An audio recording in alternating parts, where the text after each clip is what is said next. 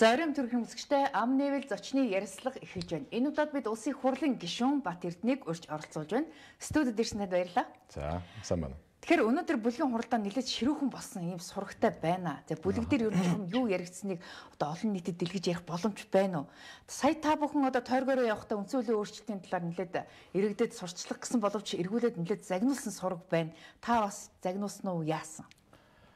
За ямар ч гэсэн Угаасаа манай бүлэг бол нэлээд хатун халуухан болдог шүү дээ. Ер нь бол бүх асуудлуудаа нэлээд ярьдаг, нээлттэй ярьдаг. Тэгээ одоо сая одоо нэг 20 гаруй гишүүн ярьсны ард дээрээс би одоо нааша гарч ирлээ. За. Тэгээд бас үнэн бот зүйлэл ярьж байна. Аа. Ер нь тойрог дээр бол зарим нь нэлийн загнуулсан ч байна, зарим нь бас нааштай хариуж авсан байна. А гэхдээ сая бол энэ оюун эрдэнэ ерхий сайд намын дарга телевиз радиогоор яасан өшөө бас одоо хэрэглэхийн өсөлн дарагч бас нэдээдгүй тайлбаруудыг хийсэн байна. Тэгээд тэр нь бас жоохон иргэдэд нэг талаасаа бол хүрсэн юм байна. Өөрөөр хэлбэл нөгөө пропорционал одоо холимог тал руугаа бол бас нэлээд нааштай бас харж байгаа юм байна. А нөгөө яг тоон дээр бол нэлээд хатан байна.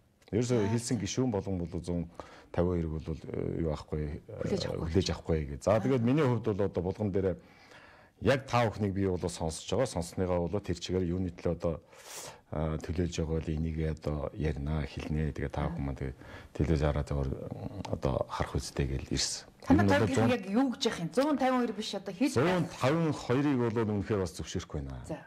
Ер нь бол яг зүгээр шодуухан ярихад 76 одоо хулгайчд гэдэг нэр авчиад нь шүү дээ бид нар бол ерөөсөө. Тэгээ 76 хулгайчийг 152 хулгайч бол болохгүй гэсэн ийм хандлагаар л ерөөс орж иж байна. Хулгайч нар тий 76 хулгайч нар 76 хулгайч багс одоо бараг л багссан ч зүйтэй гэсэн ийм зүйл яриад байна л дээ. Тэгээ дээр үед одоо социализм үед байсан тогтолцоогоо яриад тэнд бол эдгэн цөөх хүмүүс улс орныг удирдах явж болж исэн л гээд ярьж байна. Гэтэл одоо бид нар чинь арчил одоо зах зээлийн системд ороод хэд болчлоо 92 оны үндсэн хуулиас хойш бол бид нар чинь 31 жил явчлаа шүү дээ. Тэгэхээр 31 жилийнхээ энэ тогтолцоог бид нар засах гэдэг юм шүү дээ. Уг нь бол тий.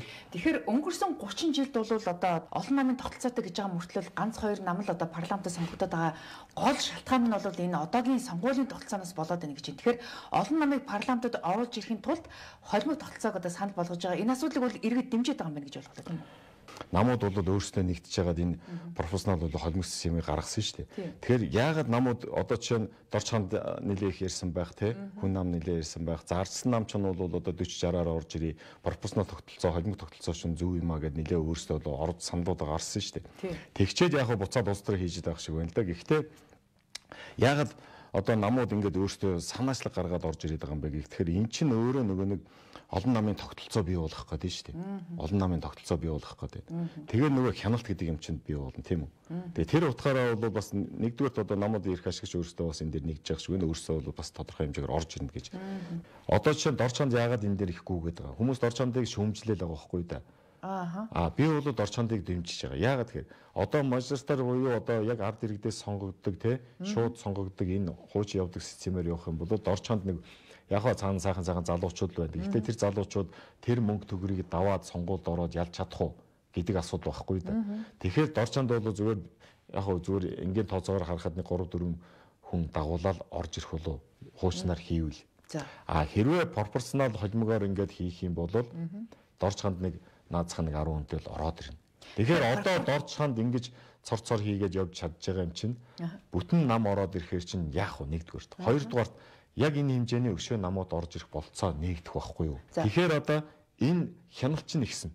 Нэг нам цаашаа хараад ингээд хамаг юма томлоод хүмүүсээ ингэж томлж шатар нүүж байгаа юм шиг хүмүүсээ томлоо. Тэгээ тэнд дотор нь янз янзын идэж уугаад тэгээ нэг нь алдаа гаргаад ирэн гутал ингээд гаргаал нэг асуудал боллоо гаргаад ирэн гутал нь улаанаар нэр бичсэн нэр байж гутал нь пад цаашаа тавьчаад нэг асуудал гарахаа бариад авахад дахиад улаан нэр байж пак гэж тавьчаад урд өмнө ч гэсэн адилхан ингэж явсан байхгүй юу энэ хугацаанд ч бол арчсан нам ардын нам арчсан нам ардын нам гэж явлаа шүү дээ. Яг нь манайх их хил байсан байх. Гэхдээ савлаад явсан. Улаанч вэ цэнкэрч вэ адилхан л ингээл нэг нь очихороо нөгөөдхөө ингээл эрх мэдлээ хэтрүүлээд явцдаг, эрх мэдлээ хэтрүүлээд явцдаг.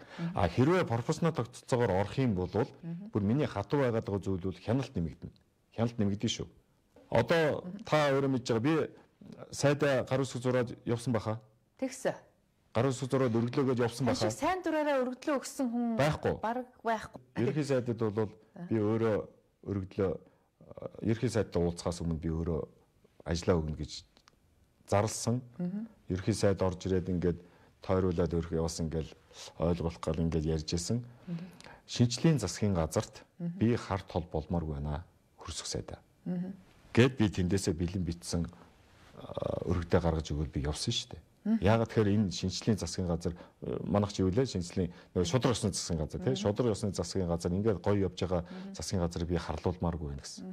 За тэрний дараа та өөрөө мэдж байгаа шүү дээ хид хидэн асуудлууд гарч ил байсан. Цэрэг цэрэг аимтай холбоотой асуудлууд гарч ил байсан. Цэргүүд нэг нэгээ өгөөд гсэн асуудлууд гарч ил байсан. Дипломат нь одоо хар тамхи зөөгөөд дэлхийн шившиг болж исэн асуудал гарч ил байсан шүү дээ. Гэхдээ сайд нар ажиллаагүй шүү дээ. Нөгөөдөл чинь. Ажлаагүйгүй биш ажлын өгүүлэх нь яасан тэгвэл. Өгүүлэх нь яасан юм? За за. А хэрвээ профессионал тогтолцоо одоо бид нар олон намууд ингээд системээр ороод ирэх юм бол тийм юм үлдээхгүй. За.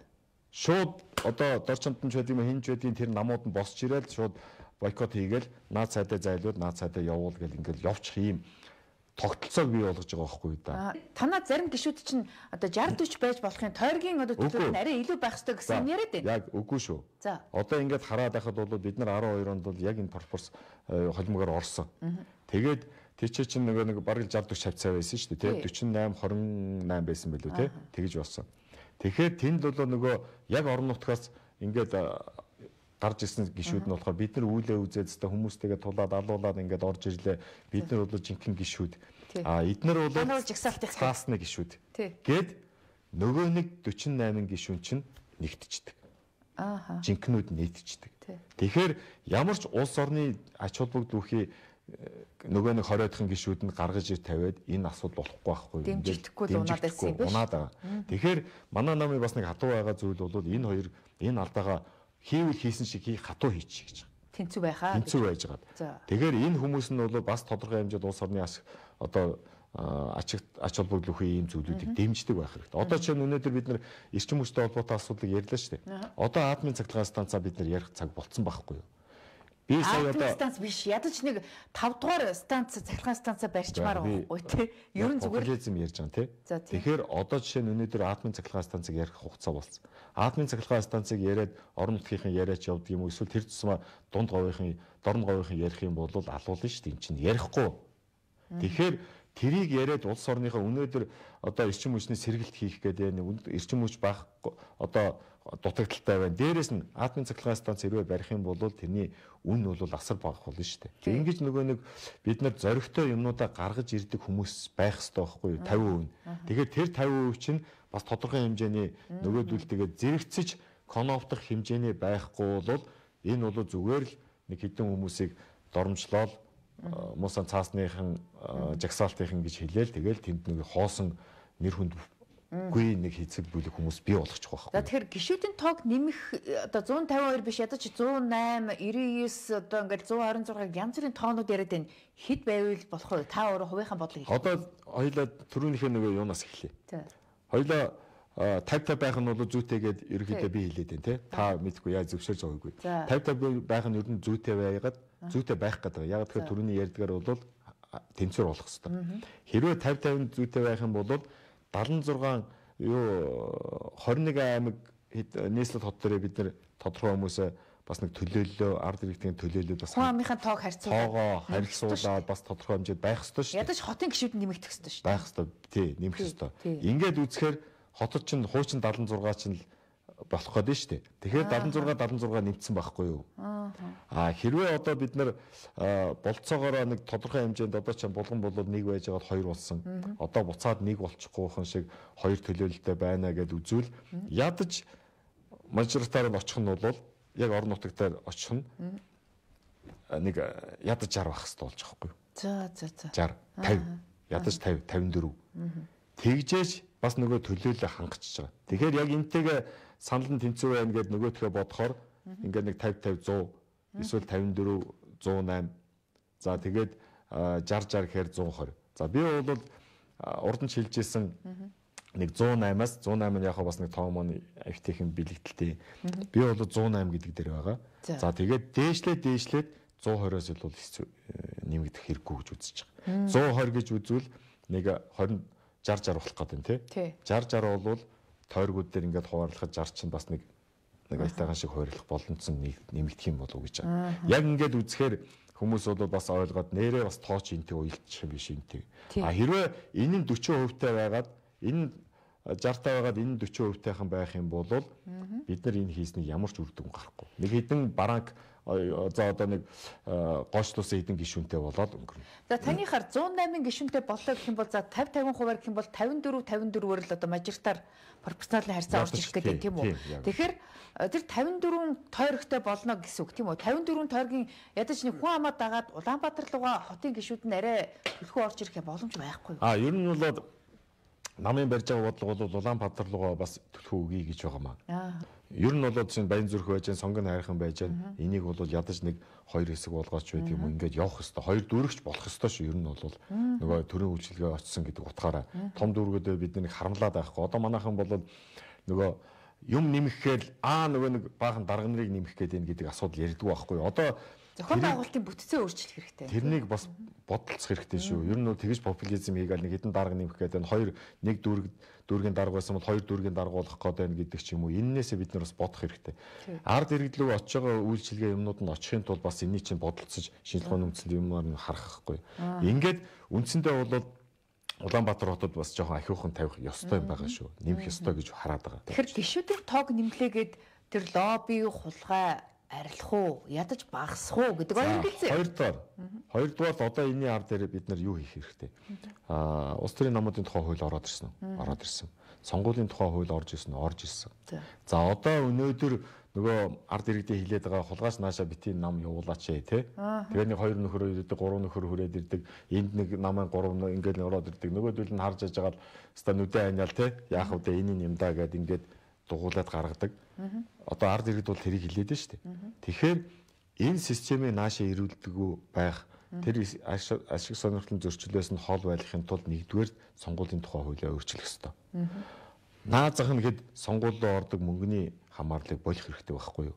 Бид нар одоо жишээ нь хойдон жил сонгуул болно гэж тэгэхэд чинь л 12 сар хүртэл 12-аас цааш юм тарааж болохгүй гэж хэвээр. Пижигнэл 12 сар хүртэл хэвээр хамаг юмад зараал пижигнэлтэй ингээл юм тараагаад явдаг. Ийм системтэй л өнөөдөр хүрлээ шүү дээ. Та тарааж ирсэн үү? Тарааж исэн, тарааж исэн. Тий. Тэгэхээр одоо үгүй одоо тэр тараах мараах явахад тэр чинь системийн юм юм чинь тараах болж таарна шүү дээ. Хоёрдугаар болгон төвийн гишүүн бид нэг яриа суужсэн чинь тэгж юм лээ. Европод явж байгаад нэг парламентынхантай ингээд уулзсан чинь та сонгуульд хэдийг дэвшүүлдэг ингэж манай асуусан юм байна. Зардыг ингэж асуусан юм байна. 23 мянган евро гэж байгаа. 23 мянган евро бол манахаас нэг 100 мянга 100 сая гарантай ч юм уу тэр хавцаал байхгүй да. Тэгээд нөгөөдүүл нь асуусан гэж байгаа байхгүй та гэдэг гутал нь манайхаас адилхан л гэдэг ингээ өнгөрсөн гэж байгаа. Худлаа шүү дээ. Тэр боммаар зарцуулдаг. Хоёрдугаар хоёрдугаар миний нэг жишээ. Одоо энэ улсын хурлын гишүүч нөх ярих дурггүй ярьж чаддгүй л асуудал. Монгол улсад яг хөө зүгээр статистик дүнгээр шүү. Дундаж цалин 1.5 сая гэж гарч байгаа. Статистик тий. Гэхдээ худлаа шүү дээ. За, ерөнхийдөө бол энэ бол бодит биш л үзэж байгаа. Дундаж цалин бол 7 800 байхгүй юу тий? Статистик арайч одоо тийм жижиг алдаа гарахгүй байлгүй. За яг гэхдээ хүнд итгэхгүй байхгүй юу? Тэгэхээр 1.5 сая төгрөгийн сарын 1.5 сая дундаж шүү те. Цалинтай гэж үзүүл, үзүүл энийг 12 сараар үржүүлж. Тэгээд сонгуулийн 4 жилээрээ үржүүлж. За. 72 сая гарна. За. А бид хэдэн 72-ыг зарж ээж сонгуульд орж байгаа билээ. Тэгэхээр нэг иргэний 4 жилд ордог орлого бид 4 жил амьдрахын тулд улсын хурлын гишүүхийн тулд хэдийг зарчиж байгаа билээ. Өрсөлдөөн болгоо хийчихэж дээ. Тэгэхээр хин илүү өрсөлдөөн байж, хин илүү мөнгөтэй байж, хин илүү нь санал авдаг ийм юм лу хүссэн үсээгүй бид ийм системийг хийгээд өгцөн байхгүй юу. Тэгэхээр тэр сонгуулийн тухай хуулинд байгаа тэр босхийг багасгах ёстой. Тэгжээж нөгөө судлаач, тэгжээж нөгөө инженерүүд, тэгжээж нөгөө ард иргэд одоо төлөөлөл нийгмийн бусад төлөөллүүд чинь орох боломж олцоо нэгдэх байхгүй юу? Гэтэ нийт сонгогчдын 3% авсан хүн парламентын гишүүн болох юм босго ороод ирлээ шүү дээ. Энэ байж болох босх уу эсвэл жоохон багасх уу нэмэх үү гэдэг эргэлзээ байна л та. Энийг тооцоож үзэх гэхээсээ илүү тэр босго одоо намынхан босхыг яаж давах уу гэдгийг нэн төрөнд үзэх хэрэгтэй. Одоо энэ сонгуулийн тухай хууль би эртээд яг энийг хэлээл байгаа. Босхыг бол багсгаач тэр мөнгө зардаг босхыг басгаач. Хоёрдугаар намд тэр элдв янзын санхүүжилт өгдөг. Тэгээд буцаад намаа барьцаалдаг. Тэгээд буцаад одоо юу гэдгийг тэр элдв янзын томлогоо момлогоо юмнууд ордог. Тэр нөгөө нэг хөнгөлтэй зээл авдаг. Тэр тэтгэм тэтгэмдийг авдаг. Тэгээд элдв янзын одоо хэрэг төвөгт орвол намаараа хамгаалуулдаг энэ систем ч өөрөө байхгүй болох гол энэ холимог системийг хийгээд байгаа байхгүй да. Яг та түрүүн миний асуултанд дутуу хариулчлаа л да. Гишүүдийн тоог нэмвэл энэ лобби хулгай багасах уу? Сарм гэж байна. За. Та зүгээр нэг логикоор ингээд боддоо. Одоо өнөөдөр бид нар улсын их хурлын гишүүнийг ингээд өргөөд тэр нөгөө нэг давуу эрх мэрхийн нэмээ тэр халдашгүй дарахын эрх мэрхийн өгөөд би одоо жишээ нь халдашгүй дарахын эрхээсээ хэдүүлээ нэг боломжтой байдаг юм бол зарим нэгэн боломжоос нэгэд болийг Одоо бас их хурлаар нэг дуурсан шүү дээ. Хаалтшгүй ихээс татгалзах бэлэн гэж юу? Бэлэн шүү дээ. Яагаад болохгүй? Одоо ингэж хуулийн байгууллага шалгыг гэхээр ингэж оо дарахын ихээс одоо жишээ нь ингэж байгаа одоо бид нар үгүй үгүй системийг хийгээд өгсөн юм чинь яах юм бэ? Системийг хийгээд өгсөн чинь хүн чинь тэрийг эдлэхээр бодно шүү дээ хүн. Ааха. Тийм одоо бүх юмнасаа ингээд татгалж яадаг дурак гэж юу байхгүй шүү дээ. Чи яагаад тэгэхээр хүн юм чинь сайн сайхан юмдуу зүтгэдэг л байхгүй да. Тэр зүтгэх юм бид нар бий болгочихоор чи хүн чинь өөрөө хөөрөөд ингээд явсаар агаал тэгэл бид нар ийм хүмүүсийг бий болгож штэ. Систем ч өөрөө. А хэрвээ одоо чинь зүгээр логикоор бодоход а 10 айлын хүүхэдтэй айлын хүүхэд ямар байдаг вүлээ? Хоёрхан юм уу ганцхан айлын хүүхэд ямар байдаг вүлээ? Энийний чинь хоорондын одоо эрх тэнх байдал одоо юу байдгийг тэгэл ухамсарын төвшин одоо ингээл дэше болох юм чинь шал ондоо үсттэй. Лог хинтээ адилхан байхгүй да. Одоо хэрвээ бид нар гişүүдийн тоог нэмээд ингэх юм бол үндсэндээ нөгөө нэг эрх мэдлийн хуваарлт гэдэг юм оролцоо оролцоо оролцоо нь бол сармгажж явчихна. Нэг шиг доногдох эрх мэдэл буурна. Эрх мэдэл буурна тийм үү? Одоо чинь би хууль батлах конопон ч нэмэгдэх юм байна. Тэгнь. Орсын нэг нэвтрүүлгийг үзчихсэн. Орс ч одоо 300 эдэн гişүүнтэй хичүүлүүд тэр байгаа. Тэгээд тэрний ингээд э, араацаар ингээд цагдаа нар ярьж байгаа байхгүй. За одоо тэр гişүү ингээд ирлээ шүү. Тим темперол перокал ингээд нааша машин явлаа шүү гэдэг ингээд цаанаас нараацаар байгаа. Тэгээд ороод ирэхээр цагдаа зогсоож байгаа байхгүй. За. Тэгэн гол нөгөөдөл чинь гүүгэл ирж байгаа байхгүй. Цагдаагаас яасан бэ? Юу болсон бэ? Би яасан дүрм зөксөн үү гэдэг ингээд зүгээр ингийн л ороод ирж байгаа байхгүй. За.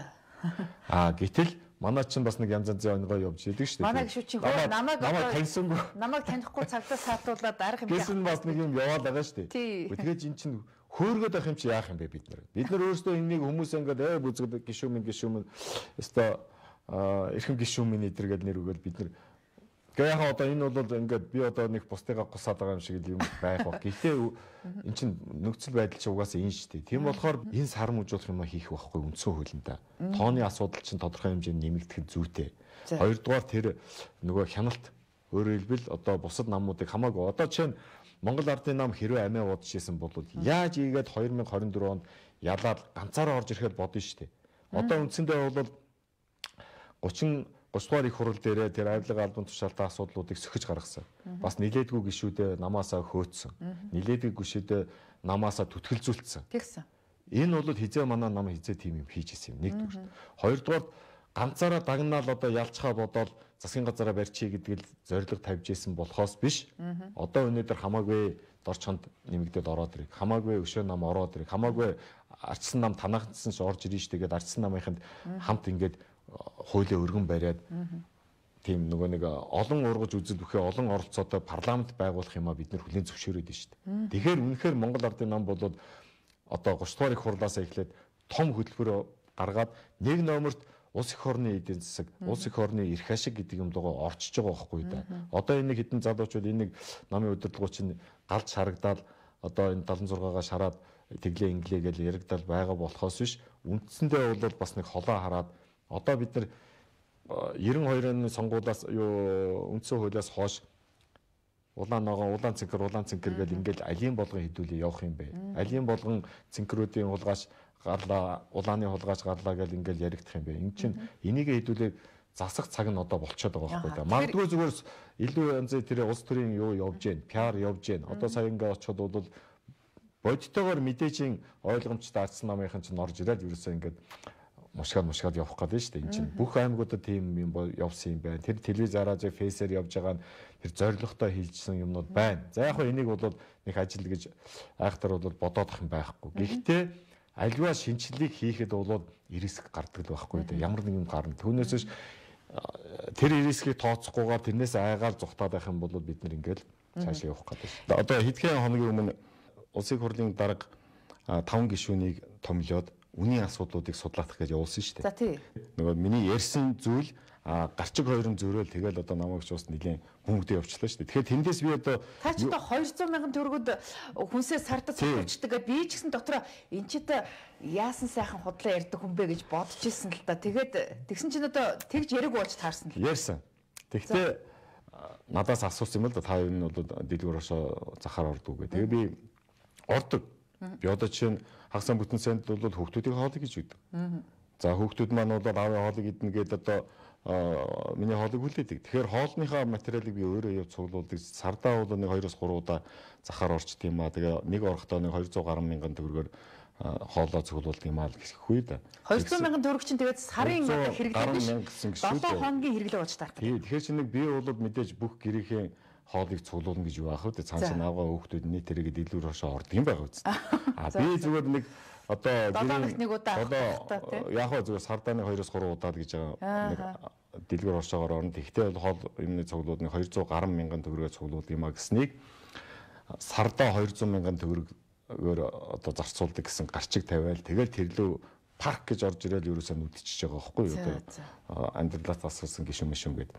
Яг нь ерөнхийдөө бол амьдралыг би мэднэ. Одоо жишээ нь энэ махтай холбоотой асуудлууд энэний үн хаана хөөргдөд идэг яаж одоо хөдөөнөөс гарч ирсний хувьд бол малын одоо махных нь үн хаана байж байгаа тэндээ ямар үнэтэй байж байгаа энд хурж ирээд ямар үнэтэй болж байгаа завсар нь юу болж байгаа? Одоо чинь энэ жилийн хувьд бол жишээ нь маш хатуу хавар боллоо шүү дээ. Тэгэхээр нийлүүлэлт байхгүй байгаа шүү дээ. Хавар одоо ингээд яг ийм байдал үүснэ гэд нөөцийн мах бэлддэг шүү дээ. Нөөцийн мах бэлдэж байгаа асуудал нь одоо жишээ 150 тоон орж идэг байхад тэр хүчит шонхор дээр орж идэг байхад энэ жил бол нэг 20 30 дөнгөн дангаа орж иж байгаа байхгүй юу? Нөөцийн мах нь баг бэлдсэн гэсэн үг. Биш. Одоо чи нөгөө нийлүүлэлт нь нь малчтаас орж иж байгаа хөдөөс орж иж байгаа. А нөөцийн мах гэдэг гэхээр нөөцийн мах нь өөрөө ямар чанартай байгаа вэ гэд харагдаад байгаа байхгүй юу? Хүмүүс нөөцийн мах авахгүй байгаа шүү дээ. Тэгэхээр нөөцийн махан дээр чинь бид нар анхаарал хандуулахгүй бол болохгүй болчиход байна. Тэрний чанарн дээр нь анхаарал хандуулахгүй болох гэж. Өчнөө тэр бом төгрөг өгчөөд бид нар тэр нөөцийн махан үнэхээр хүний хэрэгцээнд хангасан тийм нөөцийн мах бид нар цуглуулж чадахгүй шүү дээ. Хин нэгэн таньдаг хүмүүдүүгээ мөнгө өгчөөд байна. Тэд нар цаанаа хулигтаад байна. Одоо тэр сая удаа хариуцлага тооцох асуудал байхгүй. Энийг л бид нар ярих хэрэгтэй байхгүй да. Би сая яг үнэ хэлэхэд бол одоо нэг төрөний бид нар нэгд өдрөөс эхлээ гараа явсан шүү дээ. Нэгд өдөр би тэр бүтэн цай өдөр дахиад зах урдгаар бол орж байгаа байхгүй юу. Тэгээд би үгүй бодит байдал ийм чинь би юу фермер зах урдгийн яамагт байдаг. Гэрийн тань ойрхон тийм үү? Би дандаа тэргээр ордог байхгүй. Тэгээ яваад орсон чинь манай нөгөө худалдагч одоо тэр ногоо могоо авдаг хөдөлгөгч нь инээлдээд байгаа байхгүй юу? Шоолоод байна. Шоолоод байгаа байхгүй юу? Тэгээд би яасан тэр юу фэс юм харсан юм уу гэсэн чинь дуурахгүй инээлдээд байгаа. Тэгээд би заад хоёлоо тооцоо ийнэ. За ногоо хід болж байна. Тооцоо хийгээл зургийг аваад ингээл. Тэгээд чинь бас л 200 идэл гарчихгүй. Тэгээд тэрний ард дээрээс би бас бодлоо л да. Тэгээд фейсмэстэй тавьсан чинь дахиад ингэж орж ирээ. Тэгээд ер нь бол энэ бид нар энийхээ төлөө арга хэмжээ авахгүй болохгүй юм байна. Энэ бол зүгээр шоу болж хуврээд байна. Тэгээд нэгд өдөр би чинь нөгөө нэг самарна гэдэг шиг юм ордон руу орлоо да. Хурлын дарга руу гүүгээд орсон чинь хурлын дарга маань байдгүй. За тэгэн гол нь цэрэг онцог дарагтаа уулзаад ерөөсөө энэ арга хэмжээнүүдээ аваач. Одоо яах юм бид нар дараагийн 3 дахь өдөр үндсэн хууль хилцэх бараг л жил ер нь хилцхийнхээ оронд бид нэр үннийхээ асуудлыг ярмаар байна шүү дээ. Одоо би бол жишээ нь хөдөө явмааргүй байна гэсэн. Би хөдөө явмааргүй байна. Юу одоо тэр мал аж ахуй төл авч чадахгүй төлийн хорогдол маш ихтэй. Мал аж ахуй нь өргүүлээд одоо мал одоо малчт нь үнэхээр хүнд байж идэг. Бараа бүтээгдэхүүний үнэ нь өссөн байж идэг. Тэр махных нь махан зарагдахгүй болцсон тэр одоо юу н гурлынх нь үнэ хоёр дахин шахуу нэмэгдсэн байж идэг. Ийм нөхцөл байдал бид нар үндсэн хуулиар ярьж явхад би жишээ нь бараг жобмааргүй байна эдэргээл бас жоохон хуурай агсан тавьж байгаа л тэгэл явах гараад явж байгаа юм л. Тэгвэл таны хэлдгэр бол одоо бид нар энэ дээр арга хэмжээ авах хэрэгтэй шүү. Одоо нэг талдаа бол үндсэн хууль ингээ ярьж байгаа бол нөгөө талдаа бол энэ одоо нийгэм яагаад бухимдуулах арга хэмжээг давхар аваа явж давхар аваад явж явах хэрэгтэй байхгүй да тий. Тэгэхээр одоо ажлын хэсгийн гишүүд одоо ингээд зах дэлгүүрүүдээр яваад үнийн судалгаа хийсэн байна. Судалгаа хийгээд яг ямар үр дүн гарваа та нар ямар шийдэлд хүрсэн бэ гэдэг юм тодорхойгүй л хэвээр. Тодорхойгүй л болчиход байна. Одоо энэ 3 дахь өдөр эдийн засгийн байнгын оруулъя гэж санал оруулчихад байж байна. Энэ 3 дахь өдөр даргын зөвлөөр оруулж байгаа бид нар оруулъя гэж байгаа байхгүй юу. Инфляцийн төвшөнтэй уялдуулаад худалдаа авахын чадварыг дээшлүүлээ яа. Нэгдүгээр бол тэр одоо цалингийнхаа асуудлыг байж байна. Тэтгэврт идэвхжийнхээ асуудлыг байж тэр хүүхдийн мөнгөнийхээ асуудлыг шийдээд хүүхдийн мөнгөн дээр одоо жигд өгөх хэрэгтэй байна нэгдүгээр. Одоо тэр боломж олцоо байж байгаа тэтгэврт идэвхжийн асуудлыг нэм. А инфляцийн төвшинг одоо алдахгүйгээр дээшээ бас өсөхгүйгээр арга хэмжээг ав. За тэгээд нөгөө махны болон гурилынхаа хангамжтай холбоотой асуудлууд тэр нөгөө нэг бага аж ахуйн нэгжүүдэд мөнгө өгсөн бол тэрэн дээр хяналт тавь. Тэр махны нөөц бэлдэж байгаа юм бол тэрэн дээр хяналт тавь. Ер нь бол одоо би уг нь автын инженер хүн шүү дээ. Автын инженер энэ дэд үтсийн салбараа зам тээврийн салбарт бол 9 жил одоо ажилласан хүн. Гэтэл гişүүн болсноос хойш 2016 оноос хойш би юу ярьсан мал аж ахуй ярьлаа ш жижиг дунд үйлдвэрлэл ярьлаа ш ажлын байр ярьлаа ш та бол сайн энийг мэдж байгаа. Тий. Тэгэхээр эдийн засгийн байнгын орон дээр та бүхэн одоо ингээд үн явж судалсан байдлынхаа талаар ингээд танилцуулаад холбогд халдныхнаас нь одоо ингээд асуусан хариулт авсан тийм үү? Танилцуулах биш. Уг нь бол одоо энийг чинь бид нар шууд саналуудаа гаргаж ирээд юуг нь танилцуулгаад авах гээд байгаа юм бэ? Бид нар өөрсдөө танилцуулаад авсан. Бодит хэлийг мэдчихэж байгаа шүү дээ. Одоо ямар шийдэл төрөх вэ гэдэг тийм. Эдийн засгийн байнгын орон дээр би хэлсэн байхгүй нэг төдөр цаасаа бэлд. Хоёр дахь өдөр одоо тэр хэллийнхэндээ мэдээлэл өг. Гурав дахь өдөр зүгээр асуудлаа оруулаад тавь 5 6 асуудалд оруулахад хангалттай. Тэгээ тэр дотор чинь тэр наацх нь хэд нөөцийн махныхаа асуудлыг яах юм. Хоёрдугаар дандаа олон жил бид нар ингээл хавар болохоор хатуухан хавар бол тавтагтаа тулчаал гайгүй шиг хаврууд. Жишээ нь нодлон жил бол махны үн тэр ченжүүд э, юуны захын тэгжэл өсөөгөө гэж байна. Нодлон жил. Яг барьдгаараа барьцсан гэж байна. Хоёрдугаар энэ э, мал аж ахуйга одоо нэг ярих цаг болчиход байна шүү дээ. Тэгэл нэг хавар болоод хатуу хавар бол ингэчдэг. Аа тэгэл намартаа болохоор өөхтөн мах идээд идэг намар хавар нь болохоор ингээд махгүй мацаг барайл сууж идэг ийм нөхцөл байдлаас гарах хэрэгтэй биш үү? 70 80 сая болтой. Нөөцийн мах бэлдсэн компаниудад нэгдүгээр чанаргүй мах бэлдээд хоёрдугаар миний ярьж байгаа асуудал байна шүү дээ. Тэр дотор одоо тэр нөөцийн мах өчнөө хэдэн зуун тэрбум төгрөгөө өгж байгаа хүмүүстээ одоо тооцоодох хэрэгтэй байна. Хариуцлага тооцох. Хариуцлага тооцох хэрэгтэй байна. Энийг хэн хариуцлага тооцох юм хэрэг одоо бол жишээ нь улсын хурлын даргаас ахуулаад ер нь бол бид нар чинь та анзаарсан байх ер нь улсын хурлын дарга анзаарж байгаа зүйл бол энэ чинь тогтолцоогоо сайжруулах асуудал болчиход байна шүү дээ. Улсын хурл өснөө асуудлуудыг гаргаж ирээд идэг. Өснөө асуудлыг тавиад идэг. Мөрийн хөтөлбөр баталж өгөөд идэг. Шаардлагатай хуулиудыг баталж өгөөд идэг.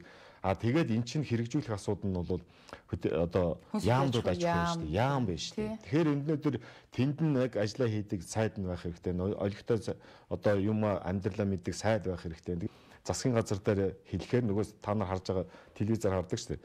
Сайд нар нэг хариулахын төс болоод хариулцдаг. Тэр нэг хүмүүс нэг хариулаад тэр нэг хэдэн минутанд л өнгөрж идэв. Аргалж идэв болоо. А тэгээд цаашаага яг амьдрал дээр хийж байгаа асуудал нь шал ондоол асуудал болчиход байна шүү дээ. Одоо өнөөдөр би хэнийг болорч чулуун сайдыг бол шүүмжмээр байгаа байхгүй юу? Өнөөдөр бүх мал чинь одоо ийм болоо турж өгөхөд одоо ингээд хавраа даахгүй унцгаач юм тийм үү? Аймаг болгонд сум болгонд очиход бол өвчий ярьж шүү дээ. Мялзан гэдэг өв чинь шүлхий гэдэг өв чинь ярьж байна. Энээс болоод мал нь бордогдохгүй болчиход байна. Гэтэл юун яасан нэг нь тэр эмиг зэмиг яриад явж байгаа юм бэ. Тэнд хийж байгаа мөнгө ийшээ оруулах хэрэгтэй. Малынхаа вакциныг сайжруулмаар байна шүү дээ, тийм үү? Хүрэлцээ байхгүй шүү дээ. Тий. Тэгээ энийг одоо чи жил болгон вакцин хэдэн тэр бумаар аваад идэг тэрийг тарьдаг юм уу яадаг юм. Гүй тэгэл яг хөө тэрийг чинь тооцоолохгүй одоо чинь би бол мал амтны эрүүл мэндийн тухай хуулийг бүр өөрөө гардаж батлуулсан хүн. За нодлон урд өмнө бол шүлхий гэдэг өв чинь зөвхөн зүү аймагт гардаг байлаа шүү дээ. Гэтэл одоо бол бүх одоо аймаг сум 330 сум чинь гарцсан.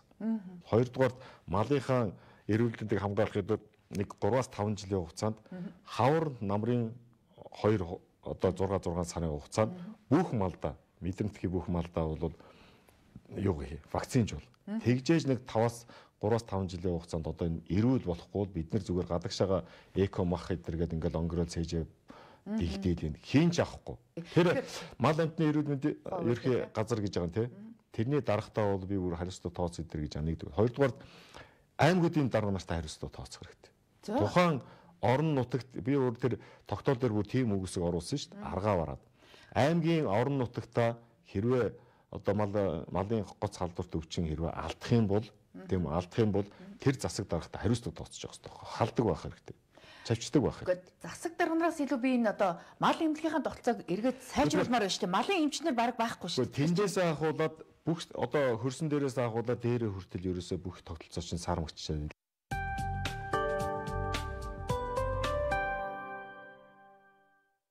Хүүхдийн баярын амтд бэлэн бодлоо оргил сүлжээ дэлгүүрийн бүх салбарт эхэллээ. Амьдралын амтын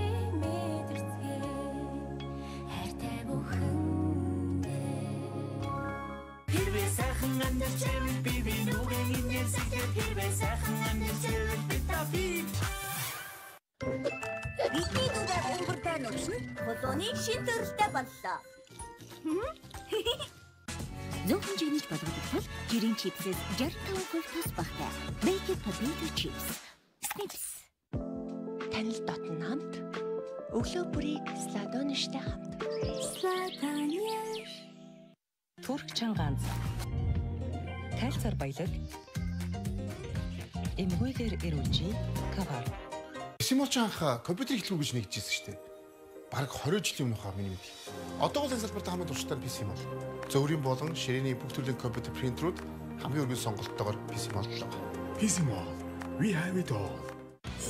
30 жил эрүүл ойн төлөө 6 сарын 14 цагт хүрээлэн хамт тулсан түүх 30 жил тэнгэр газрыг хураасан тэмүүсэн сэтгэлээр бахархаж амь хүсэл нэгтэй байж аялгуулсан ард түмтэйгээ бүтээсэн 30 жил стратегийн түвш Риотинто ерөнхийдөө тэтгэж NCT Group хамтрагч Апу Борго брэнд таслбик Shopee цэгмэн Gigi цэгмэн 1919 50 үнгүй хүрнэ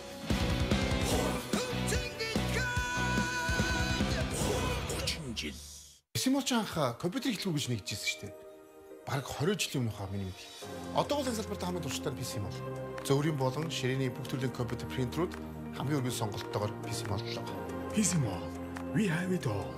Энэ цаг үеийн шилдэг дуунуудын эзэн Pentatonix наадмын таван удаагийн шагнал гитарчин ай зохиог продюсер Зашин Өлзий өрших та бидэнд цаг үеэ эдэлсэн хит дуунуудаас бүрдсэн амьд хөгжмийн шилдэгүүдийн The Last of Ochi тоглолтоо өргөн барихад бэлэн болжээ. Тоглолтод хит дууны эзэд хамтлаг дуучин болон шин залуудууд оролцох болно. Тоглолт 2023-ны 5 дугаар сарын 26-27-ны өдрүүдэд Улаанбаатар Паласын концертын их танхимд 19 цагт болно. Холбоотой хуудас 1900 800 98 22 28 95 Нийслэг 6 тэр 7 91 The Last of Ochi амьд тоглолт Симолч анх компьютер хэлхүү гэж нэгжсэн шүү дээ. Бараг 20 жилийн өмнөх миний мэд. Одоо бол энэ салбарт хамгийн туршлагатай PC юм бол. Зөвөрийн болон ширээний бүх төрлийн компьютер принтерүүд хамгийн өргөн сонголттойгоор PC боллоо. PC Mall. We have it all. 20 жилийн туршид унаж босгод минь, ойлж дуулахад минь, зовж жаргахад минь үргэлж хамт байсан эрхэн та бүхэндээ баярлалаа. Та бүхний хүндэтгсэн 3 өдөн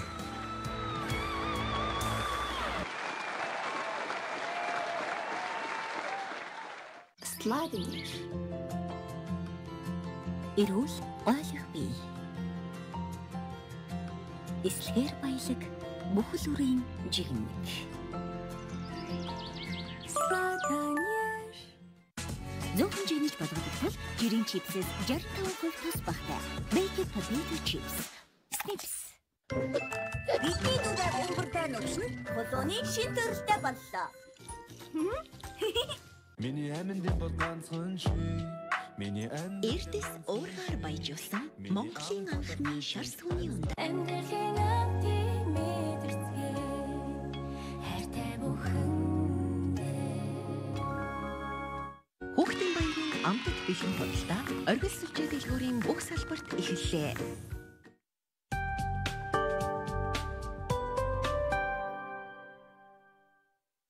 Тэгэхээр гол нь бол одоо ерөөсө тэр асуудлыг одоо шийддэг энэ механизмаар бид нар барьж чадахгүй бол Харин тий. одоо ингээд хоёулаа яриад Одоо үн өсөөд энэ өсөөд энэ ингээд иргэд ингээд гомдол тавиад асуудлаа тавиад ахад ингээд харин тимээгээ суугаад иж болохгүй байна л да. Тэгэхээр ямар арга хэмжээ авах хэрэгтэй гэж Одоо жишээ нь ингэж байна. Хамгийн наазах нь хэд би тэнд очисон аа, махнууд ингээ үзээ явжсэн чи миний хажуугаар нэг тэрэг түрээд нөгөө хойд хүчээ шонхор. Ингээд айгүй гой цэвцээсэн өхрийн том том гой мах хөлдөө мах яв- явж байгаа байхгүй. Тэгэхээр хөө энэ хаанхын ямар мах байна гэдэг би араас нь дагаад энэ нодлонгийн мах байна шүү дээ бэлдсэн мах байна гэсэн тийм ингээд нэг хөөхөн бүсгүй байж байна. Тэгээ яасан энэ хинийх гэсэн чинь миний өөрөө хувийн би махны бизнес хийдэг хувийн махаа гэдэг бүр намраараа гоё хөлдөөсөн гоё мах байгаа байхгүй. Тэгээ тэр үсгээ юу гэж хэлж юм тэгэхээр үнэхээр ийм чанартай мах авчираад та нар одоо мах бэлтгэх дээрээ тийм үү? Намрын ийм сайхан мах авчираад 2 сар тийм үү хавар ингээд ийм сайхан мах гаргачвал бүх хүмүүс наад мах хийж аавна. Тэгэхээр бид нар ченж хийгээд хийгээд хийгээд бизнес хийх гээд хийх гээд наадхаас чинь дээшээгээ үнэ гаргах гаргаад бидний мах борлогдохгүй байхгүй гэж. Үнэн шүү дээ. А та нарын бэлдэж байгаа мах чинь юу вэ гэхээр та нарын бэлдэж байгаа мах энэ хардаа гээд нэг мах руу зааж байгаа. Энэ биднийх 3 дугаар зэргийн мах. Биднийхээр хуушруу мах гэж нэрлэдэг. Намар наад махыг чинь бүгдээрээ тэр та нарын мөнгө өгөөд тараагаад байгаа тэр нөөцийн мах бэлдэг компаниуд чинь бүгд хурж ирээд намар бидний 3 дугаар зэргийн хуушрны махыг чинь бөөндөөд аваа явчихдаг байна. Гэж байгаа. Хуучин муу махыг бөөндөж аваад нөөц хийдэг. Хуучин ч биш ээ. Зүгээр тухайн намар хамгийн гологдсон махын хямдхан авчихгүй юу? Тэгээ нөөцийн мах болох. Тэгээ нөөцийн мах болох гэдэг нь шүү дээ. Яг тэр ченж өвг шүү. Одоо ченж биш ээ. Одоо махныхны өвг шүү. Зах дээр байж байгаа. Тэгэхээр энэ бол худлаа учир зүггүй худлаа ярина гэж байхгүй байхгүй. Ийм л болчиход байгаа байхгүй. Тэгэхээр тэр чанаргүй мах авчрахаа чинь хүн чинь тэр чанаргүй мах авахгүй шүү дээ. Одоо чинь 10500 байсан баха хоньны мах байгаа. Тэгэхээр хүн 10500-аар авах уу? За гүрийж байгаа тэр нэг 15000-аар За гүрийж ягаад нэг 18 мянгаар нэг айтайхан шиг мах авч идийгээл хүн чинь бухимдаа биш үү.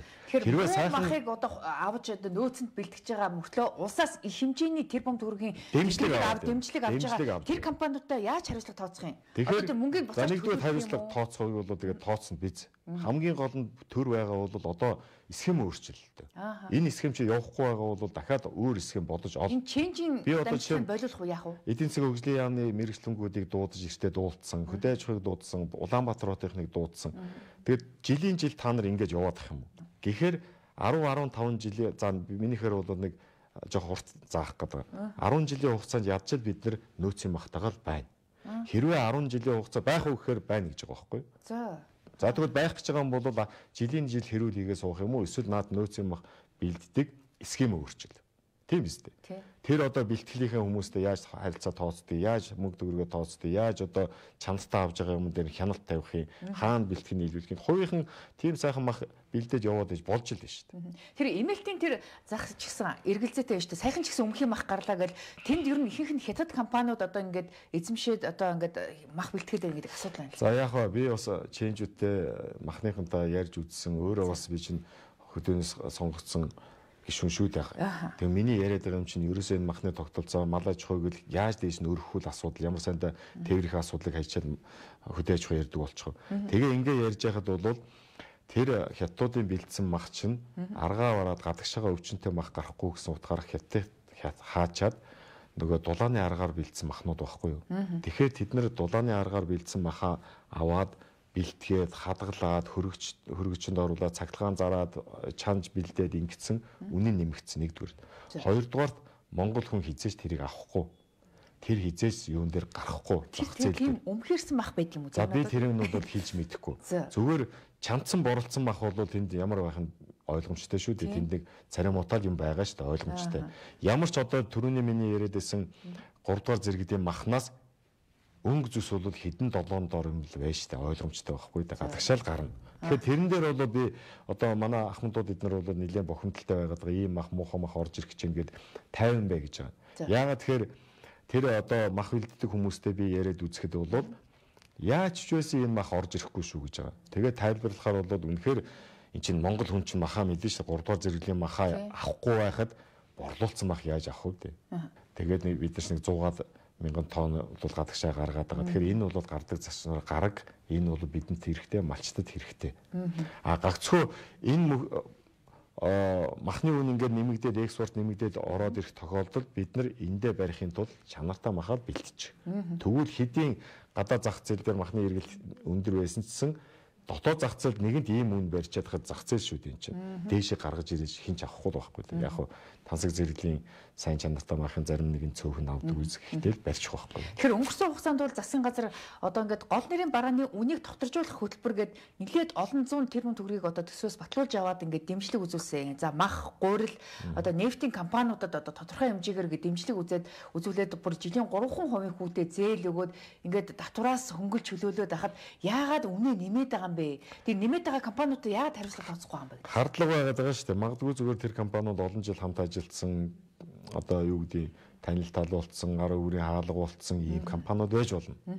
Нөгөө талаар бол яах вэ? Тэгэл аргалал дотроо нэг ашиг олцохоор төр яадаг ч юм төр бол нэг буцаж эргэж харддаггүй. Гисэн байдалтай явсаар гал хөвшил болцсонд байхгүй. Одоо энэ дээр ерөөсөө чавчдаг юм бол чавчаа тэр толгойн чавчнаа юугийн чавчнаа ийм юм бол орох хэрэгтэй байхгүй. Аа. Одоо толгой завчих гэж одоо ерөнхий үгээр яриад яг нь одоо төсөв тэр татвар төгсчийн мөнгийг буцааж төлөөлөх үү? Яг үнэ. Хамгийн гол нь тэр байх хэрэгтэй. Одоо ч манай авцам дээр хүртэл бид нар яриад хийх гээл одоо юу байгаа эвдрэл гарсан ч байдаг юм уу эсвэл одоо хохирол учруулсан бол тэр мөнгийг заашгүй төлж явах хэрэгтэй байхгүй да. Аа, чанаргүй юм хийх юм. Яг үнэ. Тэгвэл тэр компани одоо нэг удаа оролцсон, хоёр удаа оролцсон. Тэгээд юу боли наадахтаа чинь би оролцохгүй гэдэг ингээд зүгтдсан байгаа үст. Аа тэгээд тэндээс ашиг гаргахын тулд дараа нь бол шатахгүй тул те төлөвлөхээр чинь нэг удаа намар нь одоо хавар ашиг боллоо. Тэгэн гутлаа муу мах бэлдсэн гэдгээрээ буцаад төлбөр төлчихөр чинь ашиг нь нөгөө ашгаа төлбөртөө өгч чинь үсттэй буцаагаад. Тэгэхээр тэр компани шатчихна. Шатахгүй тул тэр компани чанартай ажиллах хэрэгтэй болно үсттэй. Энэ системийг л бид нар барих хэрэгтэй байхгүй да. Цаашдаа ерөн зүгээр үн докторжуулах энэ хөтөлбөр чинь бас байгаа ондохгүй байгаа учраас тэр таны хэлдгээр тодорхой тэр хөнгөлт авсан компаниуд хэрвээ хариуцлагагүй байх юм бол мөнгийг буцааж төлүүлээд хариуцлага тооцоод нөгөө талаар схемд л орох хэрэгтэй. иргэдийнхэн амжиргааг дэмжих бас бодлого давхар явахгүй бол болохгүй нэ гэдэг асуудал байна. Яг гоо дэлхийн нийтийн үн одоо тэр тедэргүй сая ковидоос хойш бол хөдөлгөөнд орчлоо. Нөгөө АММ бодороо гэдэг системд орчлоо шүү дээ улс орнууд. Тэгээд хаа сайгүй бол юмын үнний өсөлт бол байна. Энийг бол нэг асуудал. А цаана өчнөө болон засаж болох асуудлууд бид нар байна шүү дээ. Энийг л хийх ёстой. Хоёрдугаарт одоо миний түрүүний яриад байгаа хууль тогтоох байгууллага, гүйцэтгэх байгууллагын одоо учрыг бид нар ер нь гаргаж ирэх хэрэгтэй байна. Одоо улсын хурлууд дайрайлаадаг, улсын хурлын 76 гишүүн гээл дайрайлаадаг, дайрайлаад эцээцд энэ асуудлуудыг шийдэж чадах эрх мэдэл нь хаана байгаа засгийн газарт л байгаа шүү дээ. Бид нар засгийн газараа бол тэр ганц нэг сайдын бол татаж буснуулаад байдаг юмыг болиулсан.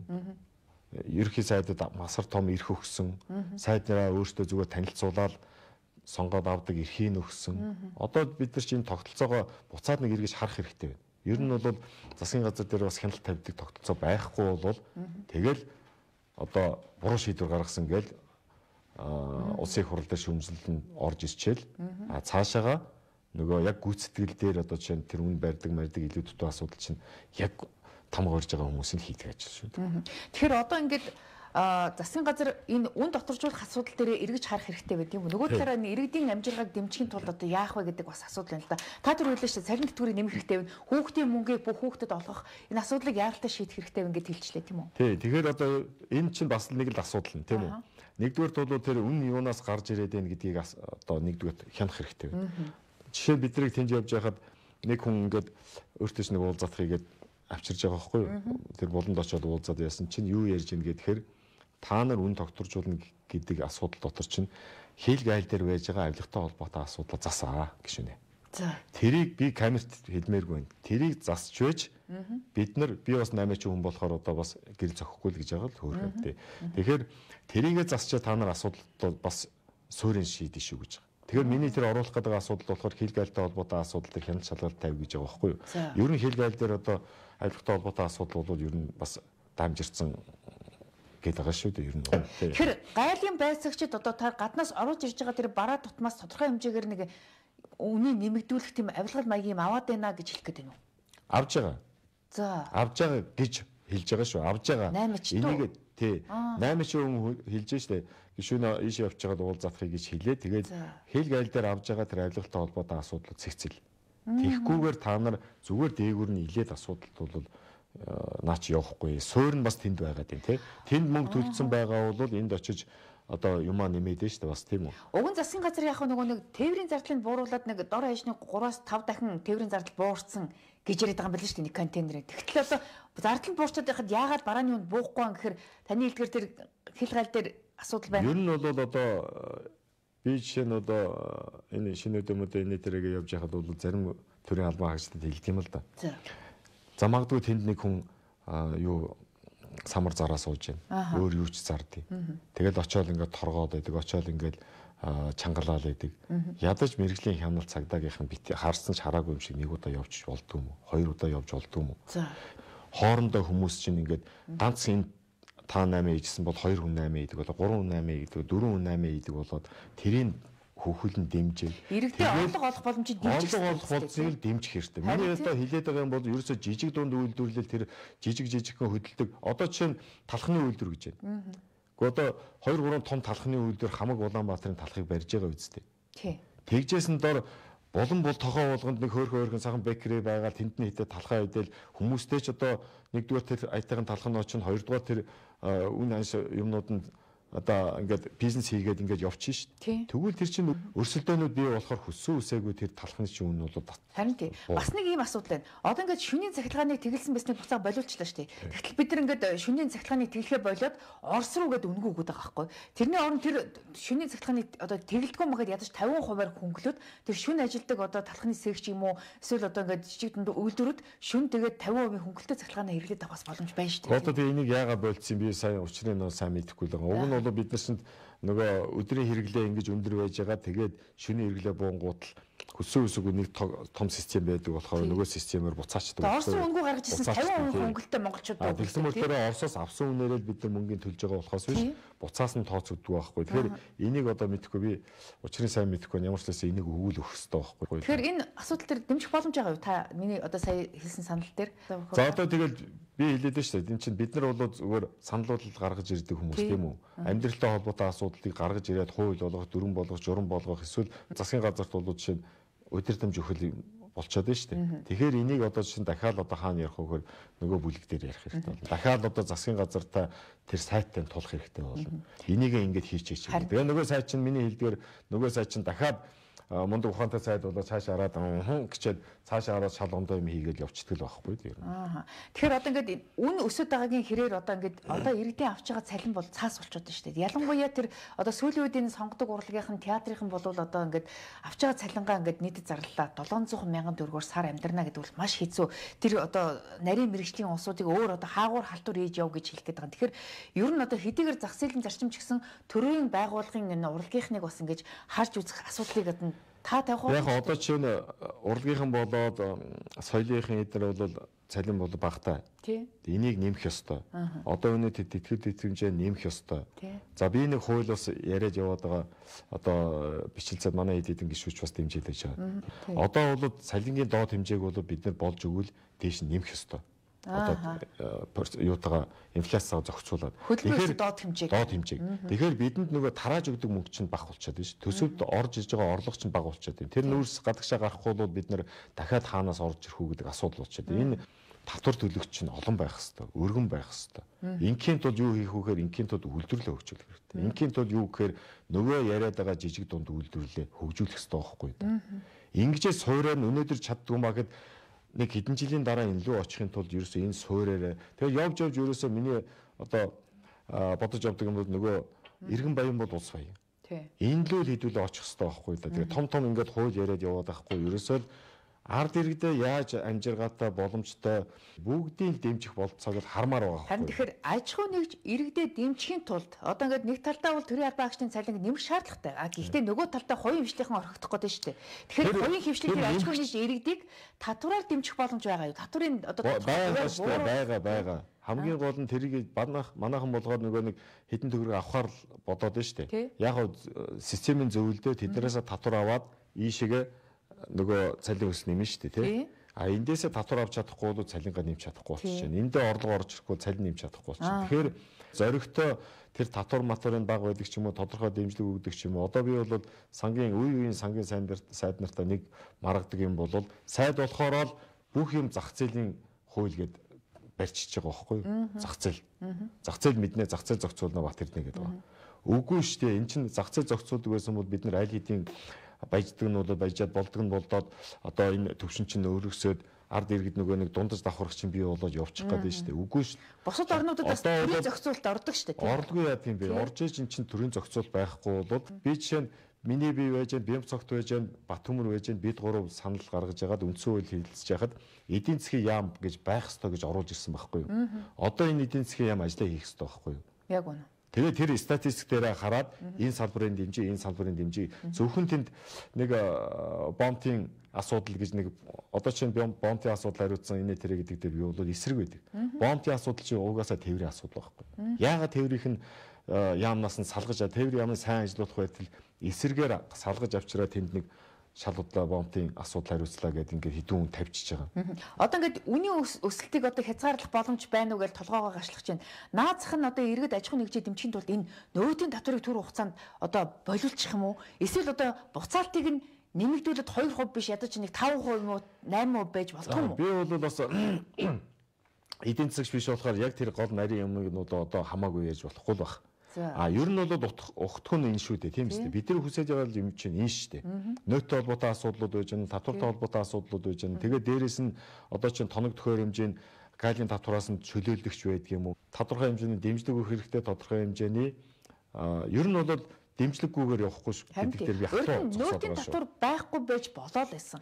Гэтэл одоо нөөт ингээд нэмэгдэнгүүт бараа болгон дээр бид нар ингээд 10% нэмж үнийг төлж авч штэ. Тэгэхээр энийг л ер нь түр хугацаанд хориг болчул яасан гэдэг байна. тийм. А би одоо тэр жижиг дунд үйлдвэрлэл хөгжүүлний дээр гэл ингээл 2016 оноос яриад ингээ харж байхад бол одоо над дээр ингээд хүр- юу тухайн үед ингээ над дээр хийж байгаа олон залуучууд ирж байгаа.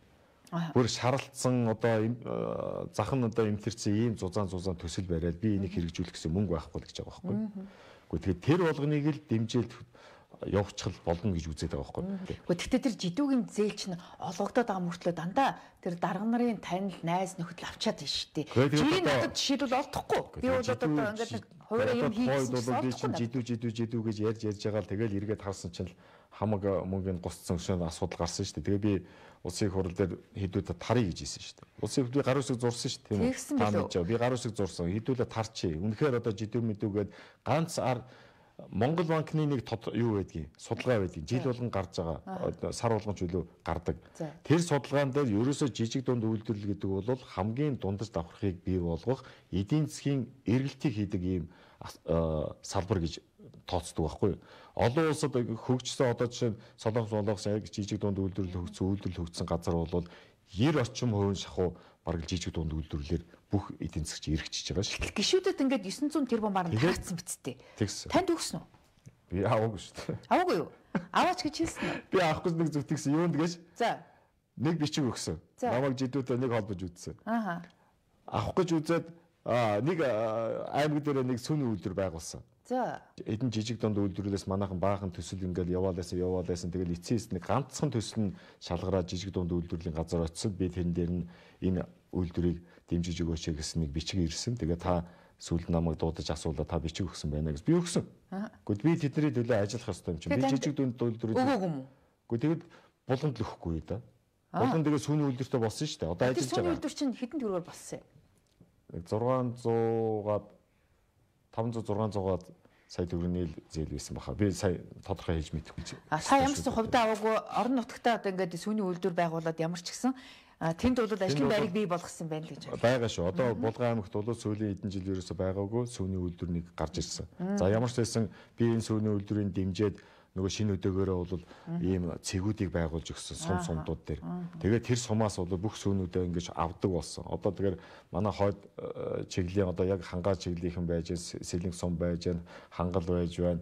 За тэр хотог өндөд дээр наахан талд нь байж байна. Тэгээд ингээд энэ сумдууд дээр тэр шинэ өдөөгөөрөө би нөгөө сүү авдаг цэгүүдийг байгуулад өгсөн. Дэмжээд. Тэгэн гол нь энэ аж ахуйн чинь одоо ингээд нөгөөдөлөөсөө сүүнүүдэд татаад сүүгээ боловсруулад ямар ч лсэн малчтын сүүг авдаг болчихж байгаа байхгүй. Тэгээ одоо ингээд аймаг болгонд ийм одоо үйлдвэртэй байх юм бол бид нар гаднаас ингэж гадны хураасуу татаж авах ямар шаардлага нь оруулж ирэх те. Миний тэр шинэ өдөө хөтөлбөр бол ерөөсөө ад иргэдийг 9 тэрбум орчим төгрөгөөр одоо ингээд ард иргэдэд э, зарцуулсан байж байгаа. Энэ бол ерөөсөө аж ахуйн нэгжүүдийг дэмжиж, ард иргэдийг дэмжих гэсэн юм хөтөлбөр байхгүй юу? Уг нь бол би нэг ерөнхий сайдад улсын хэмжээний хөтөлбөр болгоё гэсэн яг тэр тухай дэмжээдэг. Тэгэхээр шинэ өдөө гээд аймагдаа хэрэгжүүлсэн. Одоо манай хэд болохоор ерөөсө бидний толгойд бол тэгээ байшин барилга цэцэрлэг сургууль гэж ил бодоод байхаас биш. Яг ард иргэдлүүгээ отсон тэдний амжиргааг багч болтгоо дэмжсэн хөтөлбөр бол наад чи юм байна гэд. Одоо 12 аймаг нэг дүүрэг хэрэгжүүлж байгаа. Одоо ингээд сонгуулийн тогтолцоог өөрчлөхөөр тойргийн эрх ашиг биш улсын эрх ашигыг ярьдаг гişүүд нэлээд орж хоёлаа байна. хоёлаа нөгөө сонгуулийнхаа үндсэн хуулийг оръё. Тий. Тэгэхээр тийм одоо улсын эрх ашиг ярьдаг одоо гişүүд нэлээд орж ирэх байхаа. Гэхдээ тэр жагсаалтанд бас ямар гişүүдийг ямар хүмүүсийг жагсаах болоо гэсэн юм эргэлзээ байгаад байгаа байхгүй. Би чинь одоо 2 жилийн өмнө хаа худаг өндөр суман дээр очиод малын хөлийн татвар авах хэвээр, малчтаас татвар авах хэвээр. Тэгээд яг хөө тэрийг яаж зарцуулах уу? Ямар нэгэн байдлаар малаас одоо татвар авах хэвээр гэсэн зүйлийг ярьсан. Тэгэхэд араас одоо сайн санаалж надад хэлж байгаа юм л да. Гишүүнээ одоо тань та дахиж энийг ярмааргүй шүү. Хэрвээ дахиж сонгогдъё гэж бодож байгаа л гэж байгаа шүү дээ. Угаасаа л гişүүд гэдэг үсттэй. Гэхдээ харин сонгуул болж хат би дургу малчтын дургу хүргэж болохгүй гэж татвар тухай ярьдгүй шүү дээ. Гэхдээ харин тэгээ мань нь ярьж л байгаа байхгүй да. Тэгээд тэгэхээр мэдээж яг ингэж илүүцэн хүн дахиад ярих уу? Ярихгүй. Тэгэхээр энэ тойргийн хамаарлыг бид нэр болиулах хэрэгтэй байхгүй да. Болиулахын тулд бид нар одоо миний хамгийн одоо хатуу үндсэн хуулиар хатуу зогсоод байгаа нь бол мажоритар пропорционал энэ хоёр холимог тогтолцоог оруулдаг нь бол хамгийн одоо зөв гэж би хараад Аа, байгаа. Нэг хэсэг хүн одоо жишээ нь малын татварыг ярьж чаддгүй орон нутгаас хамааралтай байгаа бол нэг хэсэг нь тэр малын хөлийн татварыг зайлшгүй авч явах ёстой юу? Авч явах ёстой. Тэгэхээр энийг ярьдаг бас тодорхой хэмжээний хүмүүс байх ёстой байхгүй? Тэгэхээр би одоо жишээ нь сая бол Ямар хүмүүсийг жагсаах бол гэдэг асуудал. А тэгэхээр энийг хэсэг өмнө нь бол тэр улсын чанартай том төсөл möсөл ярьж яадаг тойргоос хамааралтай амаа скотчлуулахгүй хүн шиг хэдэн хүн байх хэрэгтэй болж байгаа. Тэгэхээр энэ хүмүүс ямар хүмүүс орж ирэх үү гэдэг асуудал том асуудал болж байгаа байхгүй юу? Намын даргын тойрон хүрээлэгчд байх вэ гэсэн болгоомжлол. байсан тийм үү? Байсан тийм байсан. Яагаад тэгэхээр одоо урдны бид нар 2012 онд бид нар чинь холимгоор орсон шүү дээ. Тэгэхэд ингээ харахад бол тэнд бас л нөгөө хідэн дарга сонгогдсон. Аль болцоотойг нь бол Тойрог руугаа явуулаад? хичээд а тэнд болохоор нөгөө Сонгогдохгүй хүмүүсээ зөөлөн сандалаар суух жагсаалтын ард нуугаад ороод ирсэн. орцсон байсан байхгүй юу? Одоо энэ алдааг гаргаж болохгүй байхгүй юу? Хоёрдугаар ер нь зүгээр манай намын одоо барьж байгаа бодлого бол юу гэдэг мачтаасаач гэдэг юм уу те эсвэл одоо тэр нөгөө бас давхраг э, инженерүүдээс ч байх юм уу судлаачд байж байх юм уу те тэгээ бас үнэхээр одоо амжиргаа муутай байж гэдэг уу тэр давхаргын одоо төлөөлөл ямар шүү төлөөлөл байж болохын тэрийг үзэх нь хэрэгтэй Гэтэ байна. магадгүй зарим намын дарга нар санхүүжилттэй бодоод сонгогдохгүй ч гэсэн мөнгөтэй хүмүүсээс одоо мөнгийг аваад жагсаалтанд оруулаад ирэх магадлалтай. Одоо нэг юм байгаа шүү. Энэ холимог тогтолцооны бидний хүсэж байгаа хамгийн гол юм. Одоо жишээ нь миний хүсэж байгаа хамгийн гол юм бол энэ холимог тогтолцоогоор бид нэр тэр мөнгөний сонгуулийг халах хэрэгтэй юм аа. Халах хэрэгтэй. Одоо 76 гишүүд дотор ингээд харахад бол би эртээ нэг тооцоо юу судалгаа хүний судалгаа зүгээр сонссон шүү. Ер нь бол аа бараг л 70-аад хувь нэгдсэн үү? Бизнесийн хамааралтай юм хүмүүс гэж би сонссон шүү. Тэгэхдээ энэ зүгээр яг бодит биш. Юу бодит судалгаа би хатуу хийж чадахгүй. Тэгэхээр энэ бизнесийн хамаарлыг бид нэр салгаж байж тэгээд цэвэрхэн зүйл нь орж иж байж тэгээд бид нар нөгөө ард иргэдлүүгээ цэвэрхэн хүмүүсээ явуулна. Одоо бол парашютаар буугаад үзэн чи шүхрээ бууж ирж байгаа шиг л нэг нам намаас нэг 2 2 3 3 хүмүүс буугаад ирдэг. А 76 гишүүний 70% нь бизнесийн хамааралтай гэж хэлчихв. За би тэр зүгээр надад хүний хэлсэн тоог би хэлж байгаа шүү. Яг. Ер нь бол цаашдаа альч нам ирэх барьсан тийм үү? Ямар ч хүн ерөнхий сайд болсон. Ер нь одоо ингээд тогтолцоон зөв юм бол энэ хулгай ловер хийх боломж байхгүй болох энэ тогтолцоог нь л одоо хийж өгөх ёстой гэдэг асуудлыг л одоо ярьж байгаа юм байна гэж. Японы э, парламент тийм үү? Бид нар зодтолтоод байна, зодтолтоод байна гэж ярьдаг штеп. тий. Гэтэл тэрийг цаана хараад асууд босгоод ирэх намууд нь бэлэн байж байгаа байхгүй. Тэр намыг амтан юу гэдэг вэ? Бид нар амтан болох гэж ярьдаг штеп. Шалан дээр дэвсэх нам нь бэлэн хараад сууж байгаа байхгүй. Тийм болохоор айж штеп. Тийм болохоор бүх юм ил Олон намын төлөөлөл тэр парламентод байж чадчих. орж иж байгаа байхгүй. Танах бол одоо 62 руу ингээд ингээд дарахын эрэхтэй би биенлүүгээ баг Гэхдээ гэхдээ одоо одоо өнөөдөр бол бид нар энэ шинчиллүүгээ явж байна. Сая бол хамгийн сүүлийн хурлаар бол бас ингээд өгөөж явууллаа шүү дээ. Урд өмнөхийг та өөрөө мэдэн шүү дээ. Бид нар ч аваад үлдчихсэн л үстэй. Хоёрдугаар яг дарахын хэрэгтэй холбоотой асуудлыг сөхөхөд ер нь одоо ингээд тухай залгаа сууж байгаа хүмүүсийг нь хооронд нь шүүлгэнэ гэдэг бол угаасаа боломжгүй тийм нөгөө хүн ёсны асуудал хөндөгдөг байхгүй да. Одоо чинь танаа телевиз ихнийг бүгдийг суулгаж байгаа телевизээс чангалгүй л та нар чинь тэгсээгээл нэг иймэрхүү юм хийн үсттэй. Энэ чинь угаасаа хүн ёсны чанартай юмыг бид нар тэгж хийж тулгаж болохгүй байхгүй. Тэгээд танийхаар яа гэж. Үнэхээр одоо улсын хурлын гишүүн тэр алдаа дутагдал юм гардыг юм бол тэрийн шүүхийн байгууллагууд нь оруулж ирээ, шүүхээр нь оруулж ирээ. Тэгээд пүг татаад авдаг энэ схемлүүд орлоо. Хуулийн нээлттэй байна. Заавал биднэрт эрхийн нөгөө бид нар нөгөөд авч үлдээ. Танаар конод даруулах гэж шаардлагагүй тийм үү? Хуулийн залтаараа шууд ингээд бүр эрхийн цуцалчдаг л ах хэвээр. Тий тэргэл хийлдээ. Тэр хүн ёсных нь их ашигыг заавал ингээд чанга ингээд авах шаардлага байхгүй байхгүй.